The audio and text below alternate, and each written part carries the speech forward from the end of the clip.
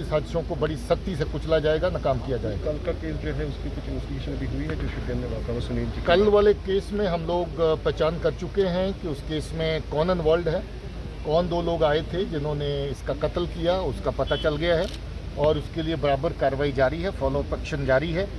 सख्त दंड दिया जाएगा। Singh thank you very much for being